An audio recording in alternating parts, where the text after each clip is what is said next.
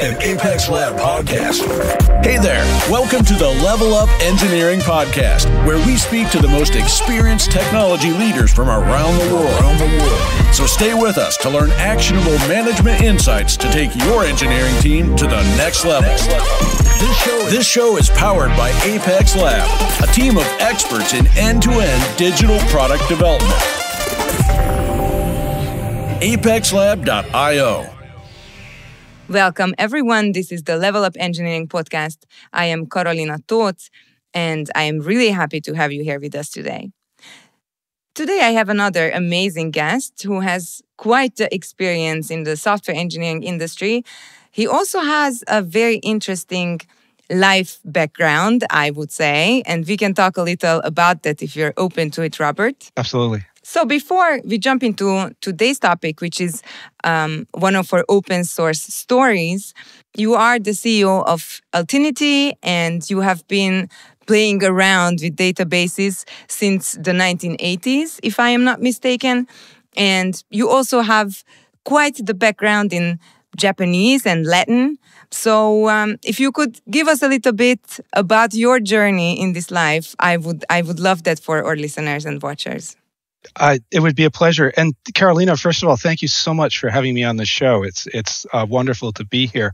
And uh, yeah, I I followed a pretty long path. It started back in 1972 in junior high, where our science teacher decided that we should learn about programming, and so he got a an account on a local time sharing service. This is uh, and and with that account came a teletype, a very primitive typewriter and um, an acoustic modem so that you could with a phone line so that you could call up the service uh, and then you put the phone in the coupler so that the teletype was then connected by sound and could send the characters that it was typing and that's how I learned to program. There was a little book on the shelf that said Introduction to Washtenaw Computing Services and the Basic Language, and you could just sign up for an hour. And uh, so I started.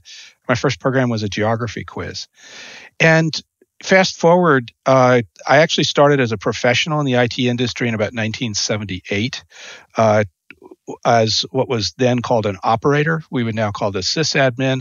I started working with databases in uh, beginning in about 1982, and I've been uh, over the last 41 years or so, uh, been working more or less continuously with data in one form or another, either working on database internals, uh, working on tools around them, or working on applications that run on them. So it's been a it's been a long journey, and uh, it's also involved a lot of startups as well as open source. I think um, if you could, because we are t- today going to talk about the the impact of open source software development. Um, if you could shed some light on what you do at Altinity and and how it's connected to open source in your opinion? It would give context Certainly. to our listeners yes. Right. And my job at at Altinity is to run the business but practically speaking that means i am the link between the technology and the economics. So technology can do useful things, can solve useful problems, but you also have to ensure that it's tied to things that make economic sense for users. So, for example, that you're pricing it well, that you're solving uh, economically valuable uh, problems, and that you're also delivering software in a way that makes overall economic sense for uh, users. You can't give people software that's incredibly complicated and expensive and labor intensive to run and expect to have people be successful. So my job is to balance those things, and uh, so it involves you know understanding the technology, but also in, involves understanding the business side of things and making sure that they mesh together smoothly. And how does that how does that come together? Within open source, um, how did you get started with open source uh, development? That's a great question. So, well, it's it's interesting because if you look at open source, open source started a long, long time ago. The first computer programs were open source. In fact, they remained that way for a long time. IBM, even in the in the days that that I was uh, first using learning how to use a computer, actually gave away their open their operating system. Uh, they charged for the hardware, but it had not really occurred to a lot of people that they could actually charge for the software that ran on it that began to change in the late 60s.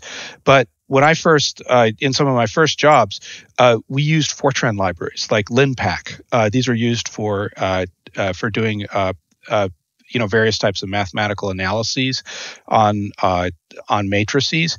And these are just free libraries. You could basically mail off to the people that wrote them, and they would send you a tape with the software on it, which you would then mount and put on your computer.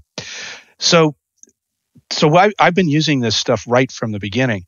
But fast forward, where I really got involved in what's now modern open source was in 2006. I got a job working for a company called Continuent, and they were building high availability for MySQL.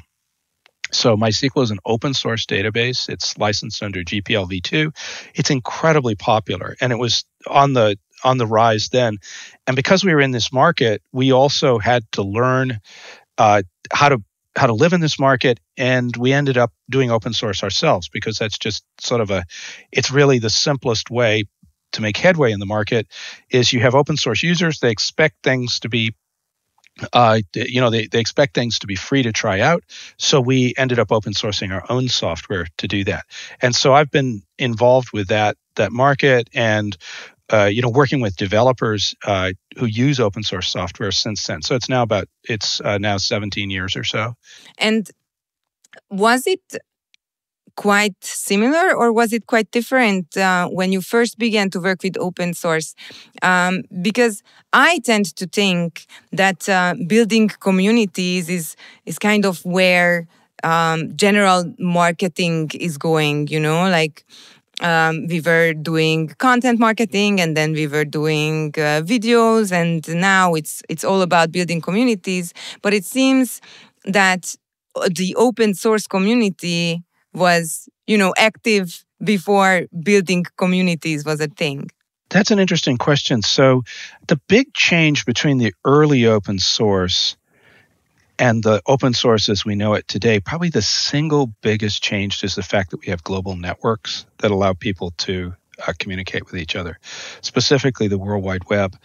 I, it's kind of hard for people who are in the industry now. It's it's kind of hard to conceive of what it was like in the um, in the in the old days. So, for example, you you couldn't just set up a Zoom call. It was if you really wanted to communicate effectively with people, you actually had to go and meet with them physically.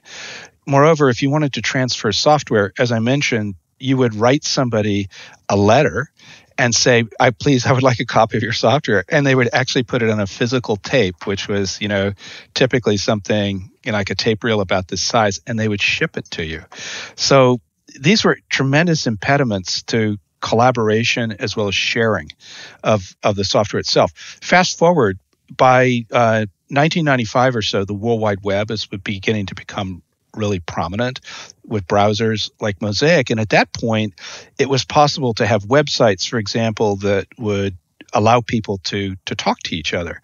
Uh, these were very popular. Uh, there were news groups, for example. Those actually arose in the 80s, and then you had uh, you know websites where people could actually uh, uh, you know do shared messaging. Uh, and at that point things really took off because people could collaborate together and they could also put the software in places where other people could download it easily. So that's those are the things that have really driven it. Beyond that there've been some some major technical changes in how tech in how software is developed a lot of them uh, driven by open source developers. And uh, so these are these are all things that have make, made the picture completely different thank you so much um, could you shed some light on on um, your motives behind open source software development.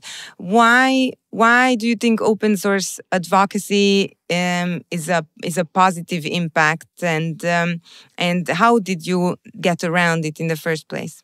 I have a a deep personal motivation because I've written a lot of code over the years, and there's something really wonderful about being able to publish your code in a way that it will always be there and can never be taken away from you. So I worked on a uh, some software called a, uh, something called Tungsten Replicator, which was a piece of software that did the first parallel replication for sort of high speed replication uh, between MySQL databases.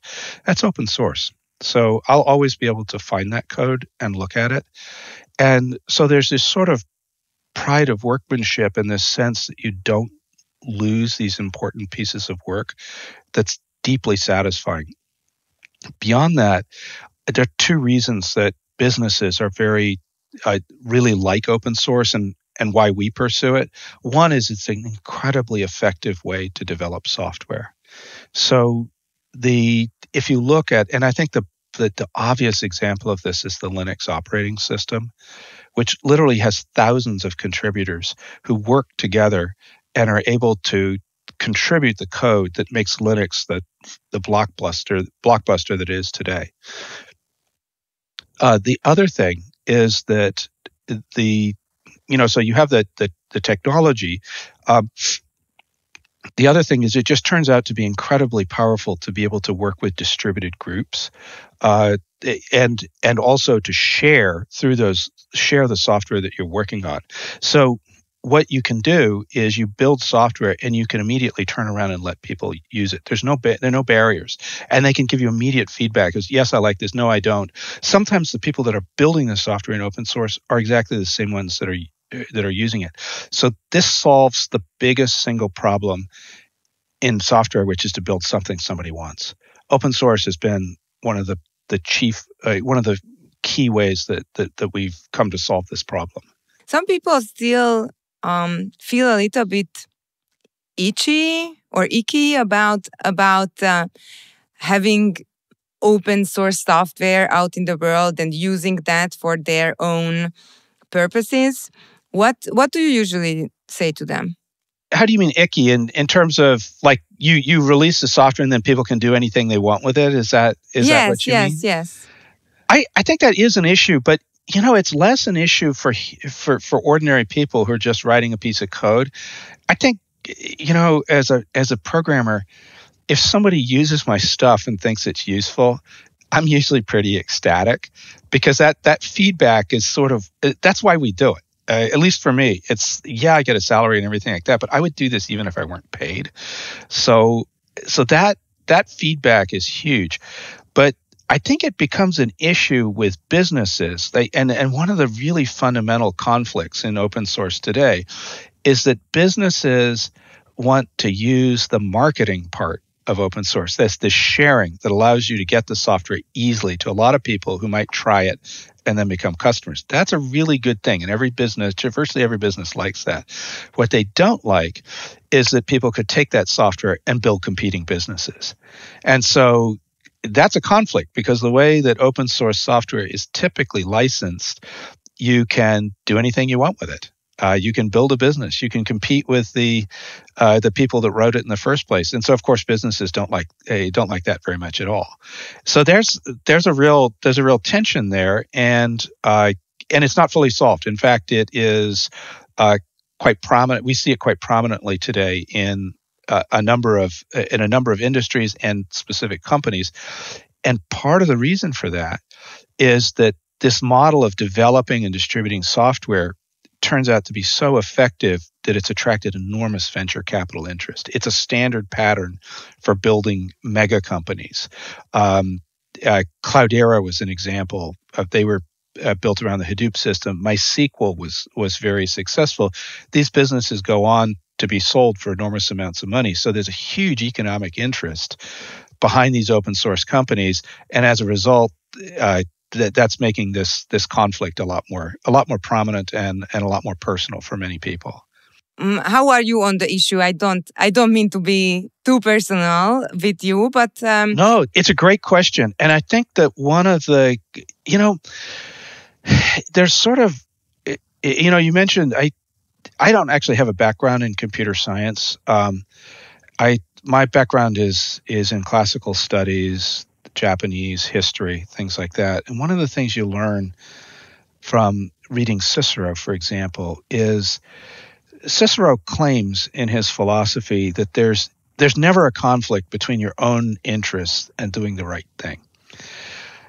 And you read that and you think, well, that's not true and uh, because actually if you you know in many cases it's not but if you go back and think about what he was really getting at is if you shape things the right if you shape the problem the right way you can both do the right thing but also do something that's in your own interest and so in the same way for companies that that live on open source, you have to think ahead how you're going to make money. It's not enough simply to put a bunch of software, eh, to put software out there, have it become ragingly popular, and then figure out how to make money, because a really good chance it, there's a really good chance that the only way you can make money for many types of software is to close it up again. Because that's the only way to force people to pay. As a result, you're doing what amounts to a rug pull.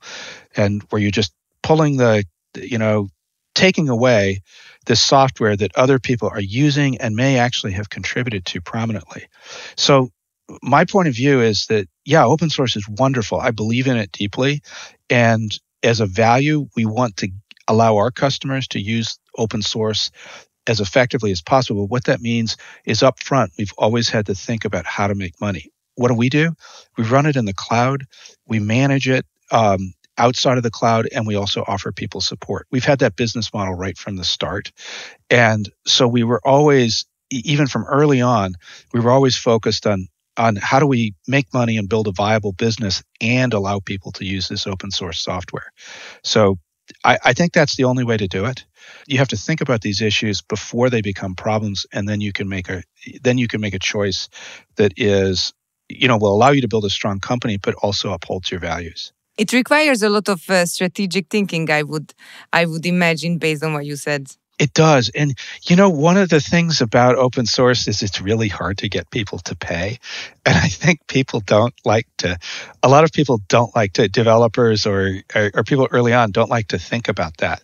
The fact is, because we're, we're huge fans of, you know, I'm, I'm a huge fan of, of open source and I've worked on databases where open source is very, very popular, but there are uh, databases like Oracle, which is closed and always has been, is incredibly, uh, incredibly expensive. Now, it, yeah, and and so we can say, oh, that's terrible. You know, Larry Ellison is is is an evil person. But what Larry Ellison knows is that that software, that powerful software, if you don't give people access to it for free and just force them to pay, you will make a huge amount of money. And he and he's and he's right. If on the other hand, Oracle had had just open sourced it from the start, they wouldn't be the company that they are today. They they might they might be wealthy, but they would have had to do it a very different and more difficult way. And people, I think, don't always confront that reality. Plus, there's the reality that some software, no matter what you do, if it's open source, there simply isn't a way to make people pay enough to run a business. Databases are, are easy because they're, or much easier because they're vital to your business businesses can't function without them. But software that that, for example, runs the um, you know, uh, for example, you know, you know, displays things on your screen. That's like a little tiny thing, and getting people to to to pay the kind of money that's necessary to pay developers is incredibly hard. So so that's the that, that's the conflict that people are seeing. So in this sense, what what do you think could be the future of open source software development? Well, first of all, I think uh, open source is going to change, and it, it is changing now. It's it's evolved over time, and a lot of it has to do with economics. So we see a lot of companies now confronting this reality that hey, if I really want to be a highly profitable business like Oracle, and for many people, particularly people who've taken um, venture capital, that's what they need. To, they need to have businesses that are like that in order to to pay repay their investors to make the investment work out. Well, those businesses are going to have a hard time uh, being open source. Moreover, they are uh, what's making the problem particularly acute for many of these businesses is that it's no longer as easy to get uh, cheap VC funding as it used to be. So interest rates have gone up uh, for a variety of reasons. Uh, most uh, VC funding has dried up uh, considerably. In fact, a lot of the VC, we still see enormous VC investments, but they're going to very specific areas like AI. So that means that all these other businesses have got to get real. And as a result, I think we're going to see a whole slew of uh, of uh, of companies pulling com- uh, pulling software away from open source or adopting licenses that are less open, that give you less freedom to do whatever you want with the software. And we see this with Terraform, uh, we see this with MongoDB, we see this with Elasticsearch. This is very popular software. So I think we're going to, I think we're going to see an evolution in terms of what it means for software to be open source, and it's based on hey, what can people afford to build and give away. So, so, so that's you know sort of a key thing that's happening. So if um, if I'm not mistaken, there is one um, license that um, has um, access to the software, the open source software, but um, it um, it doesn't let you use that piece of software to build something that could be a competitor to to what you right, have just seen. Right and that's a really important point because they, and there's this huge debate going on in the in open source about about licensing. So most businesses so the, the open source licenses before people got the idea that that this uh, that opens you know the original open source licenses were developed by people who wanted to share their software freely and not have people take the work away from them in the sense of not not have their own work be closed up and inaccessible to them. And you know, sort of my my basic motivation. I want to put my stuff out there. I want to be able to get at it. I don't want some company to just take it, close it, and then I can never see it again. And the open source company, uh, uh, the original open source licenses were designed so that if you put software out there, um, people could, particularly viral licenses like the the, the uh, uh, GPL, were designed so that you can use the software, but if you change it, you must give your changes back. And it's a very powerful model because it ensures the software will remain free, regardless of how it evolves. The um, and and so for a lot of people, that is the only form of license that's acceptable. But um, for the businesses that want to and and and the great thing about those licenses is they allow you to use it for any business purpose you might write some software and perhaps it's to run your uh, you know to run your business you know for a you know certain purpose but i have a completely different uh, business i take the software and i can use it however i want um, and you don't have any claim on that other than the fact you know perhaps i have to i have to say that uh, you know i have to uh, you know share the light share the software and uh, you know, and publish the license. So, so that's great. But, you know, if we get into a situation where you're afraid that somebody's going to take your business away, then you have more restrictive licenses that say, hey, you can use the the software for anything you want, but you can't build a business. I can't build a business that competes with yours. And that's uh, there's actually a form of license, new form of license called business source license that does exactly that, or it does things like say, hey, the software is closed for three years, but after or highly restricted for three years, and then it reverts to a, a normal, you know, much more permissive license. So these are, you know, these are things that are are going on. I think for I, I think it's not really clear how this is going to evolve because these changes are good for the businesses that that write the software, but they're not so good for the businesses that use it. And the businesses that use it, they like open source because it gives them access to very rapidly evolving technology, but it it doesn't restrict what they can do with it. And they know that they won't be visited by somebody's, you know, salespeople to say, hey, you owe us money. So that control is something they value. So so I think there's a tension there that it's it's not obvious how this is going to going to work out and there'll be a lot of arguing about it over the over the next few years. It seems as though there are lots of different forces at play here, you know, because you mentioned the open source yes. um, software developers have a different set of values or perspectives uh, than the business entities. And within the business, there is the businesses who develop the software and there is the businesses who use the software. Um, yes. Could you could you um, elaborate a little more in, on this um, on this open source map of uh, who the key players are. Yeah, well, let me give you uh, let me tell you a story that I think has uh, you know has those components. So my last company was a company called Continuent, and um, we sold it to VMware, who uh, is an it's a really big um, software famous for their virtualization uh, and very prominent in in the in the software industry. So as the last part of the sale, we had to come in and meet the CEO of VMware, uh, Pat Gelsinger. And who's really famous. He now runs Intel. And uh, so we, they, there were three of us. We were led into his office and we sat down and Pat started talking to us. I think part of it was just to make sure that, that he approved of us as human beings. Uh, and so he was, you know, making small talk and just making sure we were normal and weren't going to cause trouble. But then the second part was, you know, as we were looking around, because Pat had been, you know, very prominent at Intel. We are looking, he had all these plaques on the wall, all the Intel chips he had worked on. And so we're kind of staring at these. Meanwhile, Pat launches into this speech about how Intel or VMware is not an open source uh, company. And at the time, VMware was a was a very very big on proprietary software. Had huge uh, set of patents that protected their software and and the technology around it. And he wanted to make sure that we were crystal clear that none of that was going to be given away. And we said of course because he was about to write us a check we said yes sir. And and we left.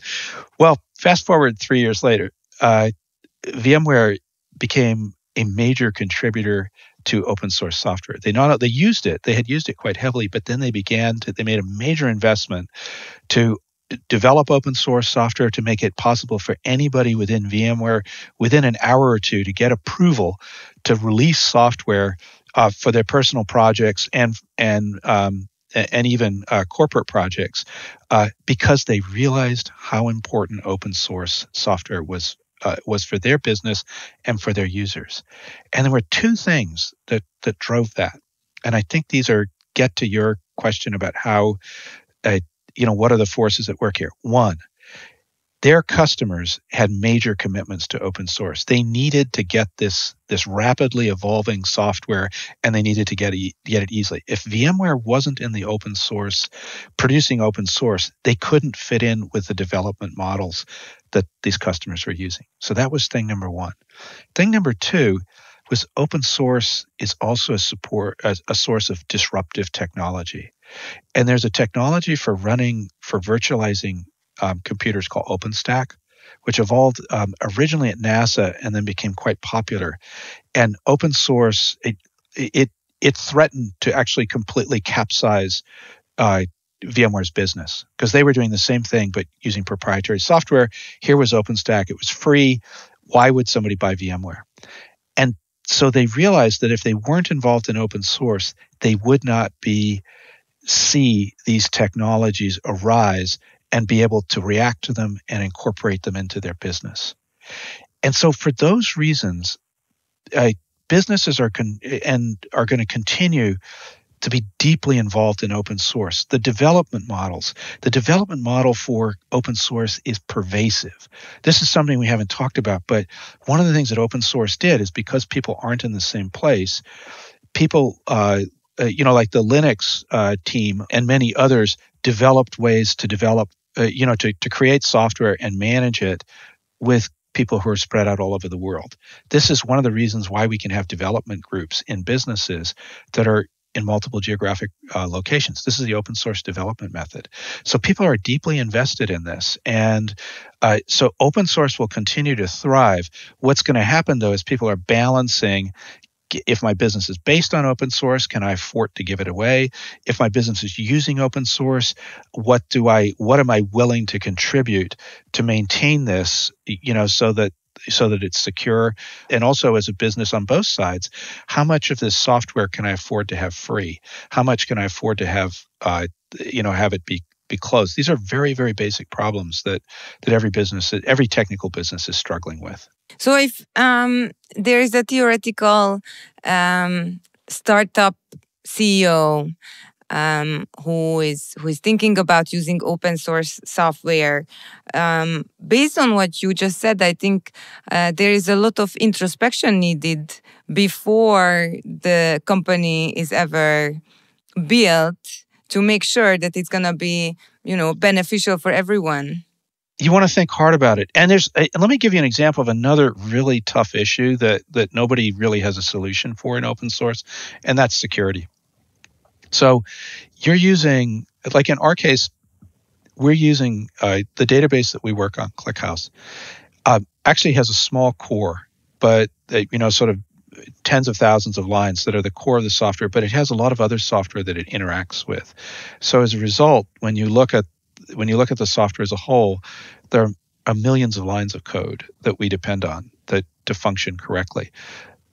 All of it open source. So who ensures that all of that code is secure? Like if some if somebody wants to attack people's data, they could go and um, you know and, and change libraries. This happens in open you know in front end software the stuff that runs in your browser there's similar these these huge libraries of software but very little control over who is changing them and what kind of changes they're making so um, and by that i mean very little central oversight where somebody is saying, oh, yeah, that looks like a good change. It looks like a bad change. It's up to the individual projects. And some of the projects are just one person. So this is a this is an issue that uh, you know we get society as a whole re- receives huge huge benefits from from software. You wouldn't be able to use the web the way that we are doing it right now with the software that's running on our browsers without open source. This what the software that's running in our browsers and running the backends, a large percentage of it, without doubt, is open source. But at the same time, there are these problems that I've talked about with licensing. There are these questions about security. And so where we have this balance, we're kind of on this knife edge and we'll continue to, to, you know, to go back and forth as we adjust to new, you know, to, to, to, you know, to changes in business environment, to changes in technology to figure out what's the right level of openness, what kind of licenses uh, do we use, how, uh, you know, what parts of the business can we afford to have uh, be proprietary, and so on and so forth. So it's going to be. I, I hate boring jobs this is going to be fun. It's going to it's constant decisions, constant thinking, and and I don't think I don't think that's going to change ever because these forces are in tension with each other, and there no no force will dominate all the others. Absolutely. I think I think part of the reason why we are talking about this is that in today's world it's um, we are kind of primed to these um, dichotomies you know like something is good for you something is bad for you and you need to make a decision. And um, if you make the wrong decision then all those people are going to be out of your life because they have made a different decision. And right. based on what you're saying there is a lot of different responsibilities of these of these players within the open source community yeah there's a lot of shades of gray and i think that everybody has to and i think that it, and what's really interesting is that you know we live in times where our societies are becoming very polarized. What I find interesting and actually really gratifying is that we still see, even though, for example, the United States and China are, you know, sort of increasingly competing with each other, um, even though we have, you know, various wars going on around the around the world, we actually still have people from all of those countries that are involved in these that are involved in these geopolitical conflicts still collaborating to create open source software. This is something I really like about what we're doing because I think open source software, I believe, is one of the ways that that we bring out the best in humans where we work together to solve problems instead of tearing each other down. It really, and I'm not, I, I'm not, you know, sort of a you know, I, I run a business. I have to be realistic about things, but this is true. This this is an example of how humans can collaborate to solve very big problems. And so I think the open source development model, the notion of sharing, being open about problems, giving away, you know, as much of the solution as you can to others so that they can build new and creative things. This is a very powerful method of solving some incredibly hard problems that our world faces. So I'm, I, I, uh, you know, for me personally, I think it's really important to be part of this movement uh, because I think this is one of the tools we have to solve some really tough problems and and basically make the world a better place. You know, for our kids, for their for our grandkids, so on and so forth. So it's a it's a really big deal to be part of this. I uh, love how you put that. Um, and and continuing on with that train of thought, what are because it's nice to be listening to you being on on this end of the of the spectrum if there is an end to the spectrum at all. But but what can you share with us about what the trends are in the open source community? I think the trend right now is for a lot of large and valuable pieces of software to become closed, more closed over time. That's clearly, and that's driven by some basic economics. Um, uh, something as simple as interest rate changes. So you think about, okay, you know, five years ago, if you needed to buy a house in the United States, you'd pay two, three percent. On a loan, it's now six or seven. Why is that important? Well, it actually makes money makes makes it harder for businesses to raise money, and it affects the the prices that people get for venture funding. So you can't afford to just, you know, if you get a hundred million dollars in you know, whereas previously you might have gotten $100 million in investment and you could just uh, develop a bunch of open source software and worry about how to make money later. Now you get 10. And uh, so you have to be worried right from the start. That means a lot of the big open source projects will not, you know, we won't see as many of them. Second thing is the ones that are out there, they now need to think really hard about how they're going to make enough money. So they're going to, and a lot of them will end up changing their licenses. And there will be a new reality uh, about them. I think also with, and I, I don't want this to come out wrong, but I think it's, I, I think we'll also see over time more security issues. Um, it, you know, this is, you know, just having this much software out in the, out in the, the world and used for you know for as many valuable things. And at the same time you have sort of these geopolitical conflicts at some point. These things have already uh, collided, and you know because people now have the motivation to try and hack soft uh, this this software. As and and most importantly it's governments that have the the motivation to do this. So i think we'll see you know come to have some new understanding about that. I do think that the things that won't change is the the idea of being open in software development developing in distributed teams uh, giving software to your users so that you can find out letting your you know how, what their needs are and how they react to it letting your users contribute to the software those are here to stay. Those those will not change because it's just this is a better way of developing software. And and and the proof is in the pudding. It is more productive. It creates software that's more useful to um, to more people and as i said going back to the fundamental problem of software is build something that somebody needs this is open source solves this problem. So it's that's not going to change. But we'll see a lot of arguing and a lot of sound and light and a lot of really smart people disagreeing with each other. That's we'll definitely have arguments. That I predict, and we've always had them, and they will continue. Uh, you know, for as long as people are developing software. Circling back a little bit to to the security issues and to to the questions that might arise. Um, I am not a developer myself. Uh, I studied programming in the language C in college, but um, I, I wasn't a fan enough to to go down on that on that route. Uh, but I quite enjoyed the the different way of thinking that it it helped me acquire.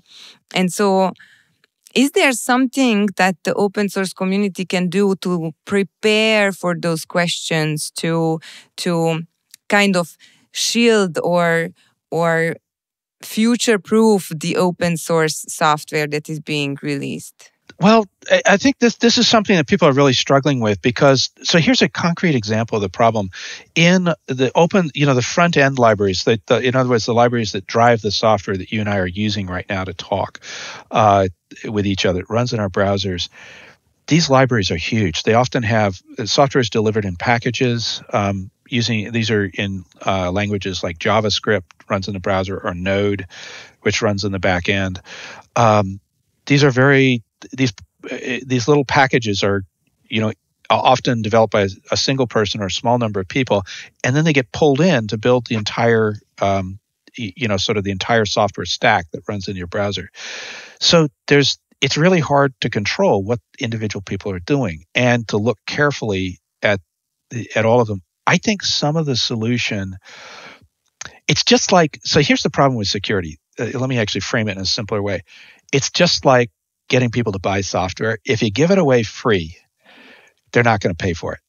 So that's and that's the fundamental problem that open source companies have. People won't pay for stuff if they can get it for free, or they'll pay it. They'll pay a lot less. With security, people won't fix stuff until there's a cost. So if I can, you know, have a major security breach and share all your data and all your friends' data, and it doesn't cost me anything, what possible motivation do I have to fix it? I'd rather just, uh, other than being a, you know, like a good person, but that only goes so far. So the solution on security is probably legal changes and to make.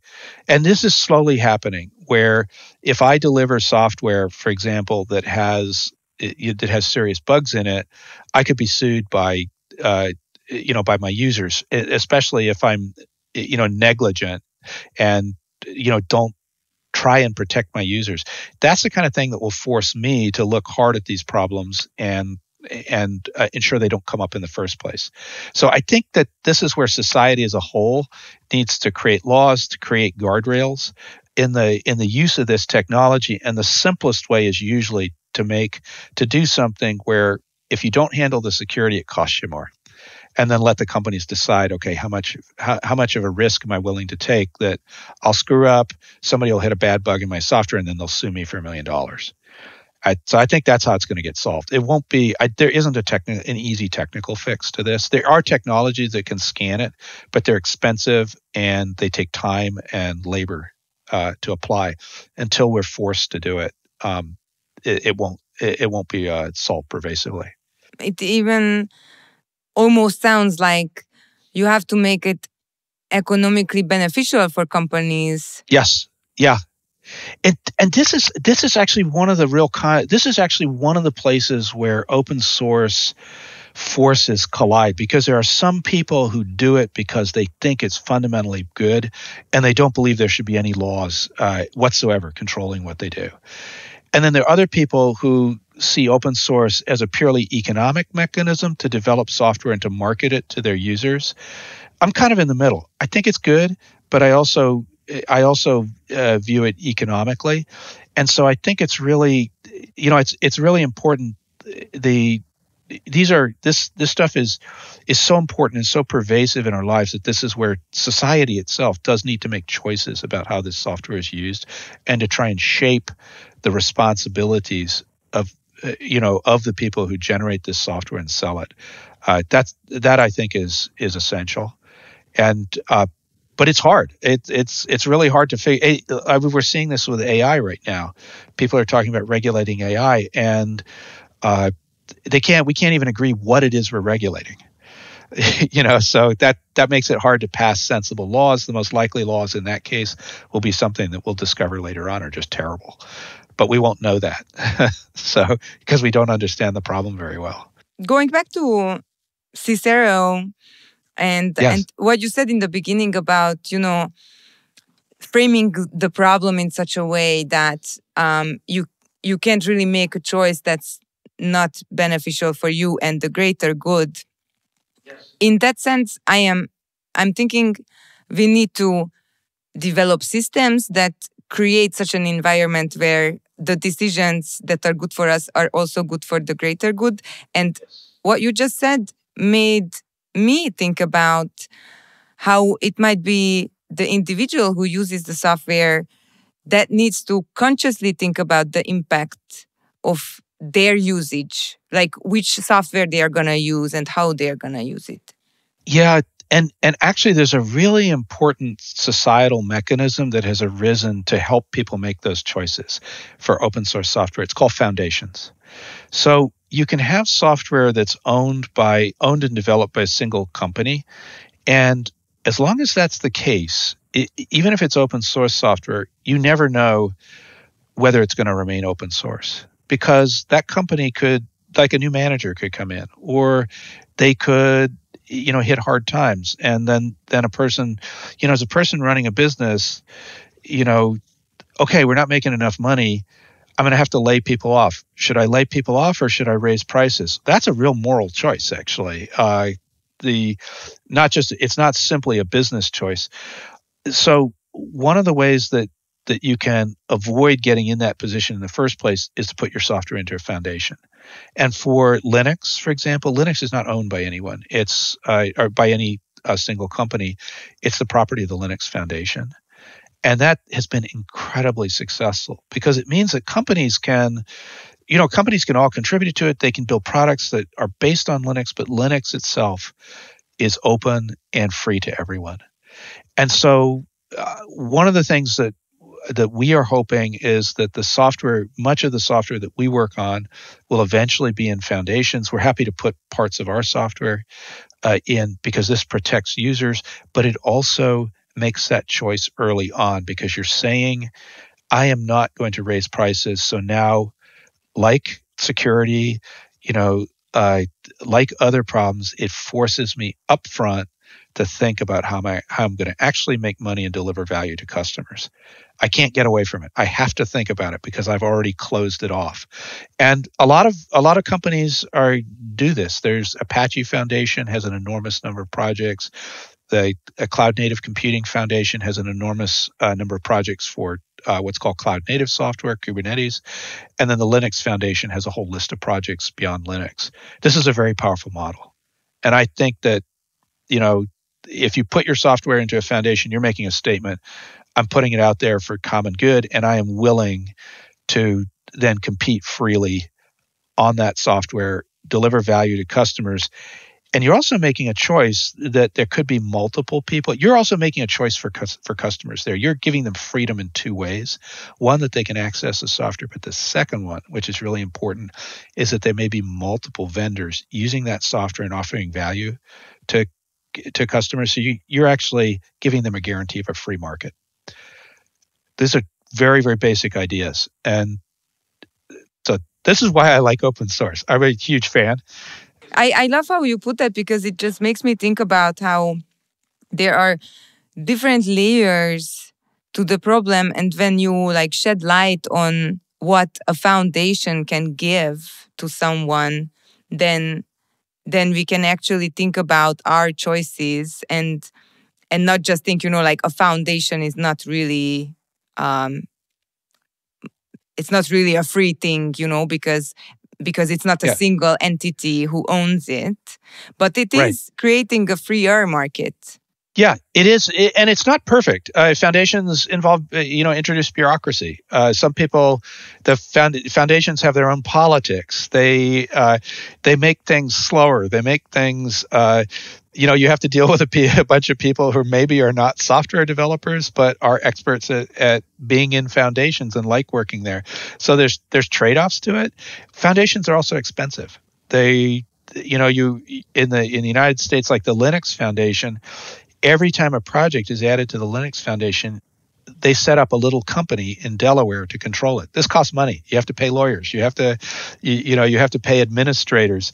So it's not the right model for every software, but but for important pieces of software that that are important to society, it's a good model. Particularly if you have software creators who are willing to to grant it freely, then I think that's the best of the best of all worlds. And I do think that will grow because I think that's the that's the solution for eh, you know for making sure the software is free and and and and also properly managed for the benefit of its users. Could you tell us a little bit about ClickHouse and how you um, integrate the ideas that we talked about? Yes. Yeah. So we're, and just to be clear, so ClickHouse was originally developed by Yandex, which was uh, a company, a Russian company in, in Moscow. They sometimes, they used to be called the Russian Google. It's a very good technology company. And they developed it to solve uh, problems in house, uh, specifically to be able to ask arbitrary questions on very, very large volumes of data, like trillions of rows uh, of, of, data, and to quickly say, hey, what's the average value for uh, what's the average time on page uh, that somebody spent for you know this website, and to be able to just answer that in seconds. And uh, so they open sourced it in 2016. At that point, shortly thereafter, our fa- our main founder, who's uh, uh, tried it out for an application he was working on, it was great. He said, "Okay, we need a this is great open source software. We need to help people use it." so that's what we do. We basically help people run ClickHouse anywhere that uh, that they need to. They could run it in everything. It literally will run in an Android phone. I've actually seen a demo of that to clusters. Like our, our largest customer has about 900 servers running in the cloud, um, all containing ClickHouse. And solving this problem of processing data that's arriving very quickly in very large volumes and where people want quick answers. What do we do? So we contribute to ClickHouse itself. We've done um, hundreds of, of pull requests. We support a lot of the software that makes ClickHouse run well. So, for example, Kubernetes is a very common platform for uh, for running uh, databases. We wrote what's called the operator that enables ClickHouse uh, to run there and released it in open source. It's used by thousands of people. Um, we build a cloud service so that if people don't want to run it themselves, they come to our cloud. Uh, they pay us, you know, based on how big their servers are, and we run it for them. And then we give them advice about, you know, if they want to run it themselves, we tell them how to do it and give them advice, uh, you know, when they're building applications as well as when something goes wrong. So that's that's what we do. So the base of the software is is open source. And in fact, our commitment is that anything that is, you know, doing the actual analytic processing like doing web analytics or uh, it's very popular for looking you know for watching for security events. All that stuff is open source. But the stuff that manages it and the services that help you manage it we charge for. So that's our economic model but we also contribute as much as we can to the open source software. Thank you. Thank you for the clarification. Um, does that mean that you figured out how you can find the right balance between uh, making it economically beneficial and also making it a good open source project? Yeah, I think this. I think it is a good balance. We're further along than many companies are, and a big reason was we start when we started. We had to make money from day one, so uh, we were forced. We didn't own the project. We couldn't. It. We have taken a little bit of VC funding, but uh, but in general, we've run as a bootstrapped company. So we've been forced to think about how to pay people, and we don't we don't hire an excessive number of people. We don't we try not to do crazy things, and we try to think really hard about what it is we do that offers value to customers, so that um, you know so that they'll want to buy from us and and make us successful. And that works both ways. You know, we get paid, but they also get something valuable, and that's partly by by not dominating the software that forces us to adopt that model and i think that's healthy for everybody right right could you share a little bit about what um, might be in store for you for the future uh, absolutely so i think one of the things that's really important in, in our industry, so we help people run ClickHouse, and we've always been very focused on that. But in fact, if you look at so data is particularly what uh, what we call real time data, very rapidly arriving information is now critical to many businesses worldwide. Simple example: security. We talked about this. Uh, it, you know if something is if one of your computers is is being attacked you want to know now and you want to find out what's going on and you want to fix it so that's data. The systems that monitor that have events arriving at tens of millions per second because they're scanning computers worldwide for many, many customers. So uh, our focus is enabling that to, those types of applications to be built. And so as a result, we're reaching out. We're we're working on on ClickHouse, of course, which is the core, but we're reaching out and figuring out ways using open source and and you know, and both open source software and open source development techniques to allow people to build the entire application. So you can have the database, but that's not enough. You also need to monitor it. You need to feed data to it. You need to get data out.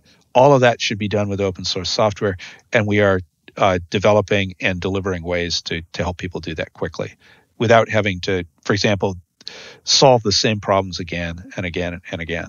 So that's that's a big that's a, a big path for us and a really important one. Sounds um, like a really exciting uh, journey um, that you are on. Um, it's it's not boring. Let's put it that way. if, it's stressful, but but it's never it's it's stressful because running you know like startups are always stressful. They're always up and down. One day you think you're doing great, you're top of the world, and the other and the next day it's like oh my god, we just had a bug and we're dying. So, but yeah, it's it's really fun and uh, it's it's never boring and and for those of us that don't like for those of us that like problems where it's not obvious how you're going to solve them it's a wonderful it's a wonderful job for sure, for sure. And um, today, our conversation, we we touched on a lot of things. Um, you know, like the legal issues, the eco- economic issues, the issues with collaboration, or the lack of the issues with collaboration, even in the current geopolitical um, area or atmosphere. Um, so it really seems like open source is like a little world within the world when it comes to how people operate amongst each other when everybody has different kinds of drives and motivations. And and it seems like there are a lot of things that everybody has to think about before they choose one software over another or before they choose one license for their software over another. Um, what do you think are some of the some of the opportunities and challenges for the people who are listening to us? Um, what do you wish for them to to think about after listening to our conversation? I think that everybody should be who develops software should think about a couple of things. One is first of all, how can I learn from open soft open source software and use these these techniques are very powerful. So uh, are things like infrastructure as code, uh, what we call GitOps, um, the the ability to do shared, you know, to run distributed projects efficiently. These are techniques that just should be basic to every to everybody who develops software, and they should understand how to apply them in their business. I think the second thing is you want to think really hard about the software you're using, where you're where it's coming from, and what would happen if that software goes away. I'll give you a simple example. We use Zendesk for, uh, uh, you know, for uh, processing uh, support cases. And we got a letter from them a while back that said, "Hey, you're in a you're a company, and by the way, we see your address is in a company in a country we don't like. We're going to cut you off. You have 30 days." Wow. And we were felt and and what happened was it turned out that the the when we originally registered, uh, the the address was in a place that we had no idea where it came from. Um, and we had changed our billing address. We're an American company. Um, and so it was just, it was, you know, it got settled. But the point is that if you're using proprietary software or you're using software that is licensed in a way that that isn't free, that software can be taken away from you. And you want to think about, okay, what does that mean? What does that mean for my business if it happens? Open source gives you choices gives you the ability to move somewhere else and to do the same thing. You could run it yourself. You can have another person run it for you. It also means that you're it also gives you a stronger guarantee that there'll actually be a market which will keep the prices reasonable. So I think that you know as a manager and as you know as a leader in engineering that's something you want to think about really hard and not just sort of blindly reach to the you know the quickest or the easiest uh, solution. I mean, sometimes it's really great to have quick solutions are good. You get to market fast, but you also want to think about these issues really hard. They're they're they're critical to your business. For sure, for sure. And so, where do you think they can they can um, turn to if they are thinking about these things? Uh, who would be someone to consult? Actually, you, eh, you know, eh, your own developers. Mm-hmm. a lot of times, you know, sort of developers understand these issues, and because they work with open source software, I think that um, it, that what I would do is, you know, if I were just new to this, I'd go to open source conferences. They're really inspiring. Um, for example, KubeCon is one of the biggest open source uh, conferences in of the year. That's next week in Chicago. It's all the open source software devoted to all the open source software around Kubernetes. You can learn for that from that. You meet people who are using it. You learn about the things that they're doing it with. This is a great way to come up to speed, not just with what the software can do, but what what kinds what are the possibilities for building things creatively on top of it and understand how to use it use it effectively thank you. You you shared a lot of things about uh, and you were so very um, politically correct i feel in in the things that you have shared you know about all the questions and all the possibilities that are that are in this um, arena of of choices. Um, i would like to ask you if you don't mind personally like what do you hope for to happen in this arena of open source software development? Yeah that's a really good question.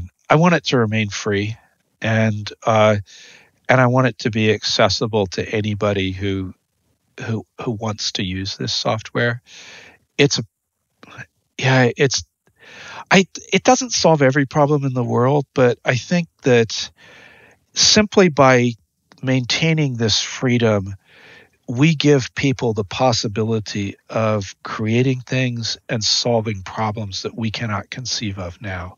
As I say, give people that give my kids, give my children's kids, uh, give them the possibility, and and other people's children, give them the possibility of solving problems and and doing things that we cannot conceive of now that's what I want, and that's also why I think open source is important. It's one of a number of things that that will allow them that freedom and and allow them to solve problems that that are important to them. Thank you. Thank you. I you. Hope that, I hope that wasn't too muddy, but that's. No, it's, I, I just had a, I, my first grandkid arrived a few months ago, and congratulations. So I, I think about that more now. congratulations. I think it was very beautifully put and also you know because when i feel like when people think about you know open source software they don't put as much forethought into it um, and and when you frame it the way you just framed it it gives um, the entire open source question and possibility a little more weight it does it it is and i think it's you know it's not just i yeah, you want to think about the whole thing. Not everybody does, and that's their freedom. They don't have to. But I think some number of us should, and I think leaders of large companies like Pat Gelsinger, who I think you know he would freely admit that they at VMware that they realized this was really important. Uh, they had not thought about it before, and to his credit, once he realized the problem and understood how important was it, it was, he did something about it and he changed the way VMware approaches uh, approaches open source. That kind of that kind of action is good, and I I think he deserves all the credit that he can get for that. The um, you know I'm I'm proud to have been uh, working at the company during that time. For sure, for sure. Thank you for for sharing that story. I think it was very eye opening. Um, as we are approaching the end of our time, just very quickly, the things that remain with me after our conversation are are that we each have a personal responsibility for the choices that we make uh, when we use software that is presented to us or or when we don't use software that is presented to us. And um, and just this story that you have shared with us i think um, shed some light on the value in thinking about your choices and then maybe changing your route when you get new information about what's happening in the world. I think that's a very important lesson that um, is sometimes missing from from today's discussion of not just open source it software is. but and i'll give you a completely concrete example. When if you need to make a you know and, and not everything's a moral choice. I mean stuff we we do stuff day to day but there's certain things that if you want to make choices that you'll be happy with and and sort of can live with uh, you know decades later you look back and you think hey i did a good thing it's important to to set things up so you make those choices early. It is very difficult to make a reasoned choice when somebody is dangling say a hundred million dollars in front of you and software money is money talks in software. So sometimes you have to make and and as a result, you know, when somebody says, "Hey, I'm going to give you a, a you know, 100 million dollars if you just do this one thing," even if you dislike it, you're going to look at the money and you're going to look at it, uh, you know, like how you feel about it and how other people will feel about you after you do it. And you might take the money. In fact, you probably will. So you need to set those choices up a long time in advance when you can actually make a reasoned choice. Uh, you can't always do this. And you know a lot of things just just happen but i i do think it's important to again as leaders to to think about this because I, I, think there's a, a huge fallacy in, eh, that's been dominant in particularly in american business that all you think about is making money and making money specifically for your investors that's a new thing the people who ran the first you know the great startups in in Silicon Valley, like Intel, like HP, they didn't have that attitude. They viewed their role as yes, build a successful business, but also think about the society that made it possible. And they gave back in a big way. Uh, people like Andy Grove of Intel, he's like a, I think, a model for how, you know, how you should think. And and you know, and and I think America was better for having people like that. So those those are good people. It's not just make the choices, but you can also there are people you can read about and you can emulate what they did. So hopefully, um, after listening to our conversation, some people will um, will go and seek some more truths that might be different to their Right. own. Um, thank you so much. Uh, we have covered a lot of ground, um, and I think this was this was a really, really great conversation. Um, just creating, you know, some new excitement about about open source software and and or or choices within our lives that we might not think about as much.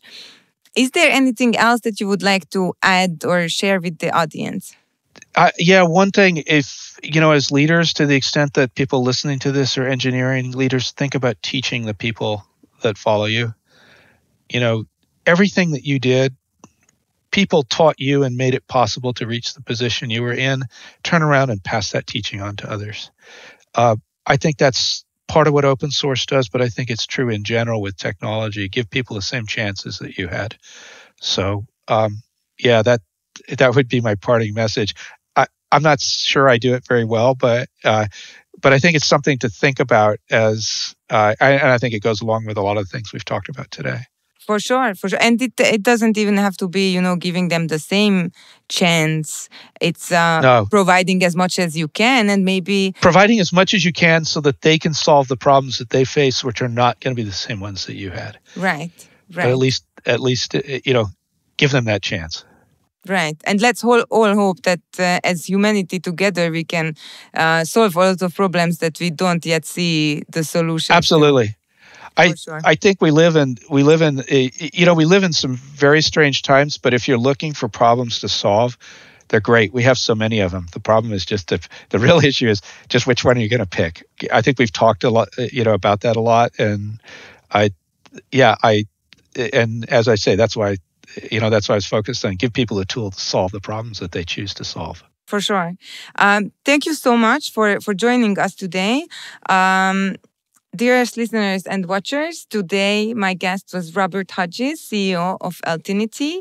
Um, we had a really wonderful conversation about open source software development, and I think it went a little beyond that. Um, please share with our listeners where they can follow you or your work or the company that you lead. Yeah, absolutely. So if you're interested in the software that we are talking about, come visit us at altinity.com. We're very helpful. And uh, maybe buy some stuff so that we can continue to support so- open source software. You can also contact me on LinkedIn. Just send a connection request, especially if you say you heard this podcast. That would be wonderful. And I'll connect with you right away. And, and if you want to talk about these issues further, I, I would be delighted to. So, Carolina, thank you so much. This has been a pleasure today. Thank you. Thank you. I had great fun talking to you, and I, I hope really that this conversation will um, arrive to a lot of uh, headphones and, and people might start thinking about things that they haven't maybe put so much uh, thought into. Thank you so much for joining Level Up Engineering. Thank you, Carolina. Thanks for staying with us. This was the Level Up Engineering Podcast by Apex Lab. Check them out at apexlab.io. And don't forget to subscribe to our channel, rate our content, and share your thoughts on this episode. See you next time.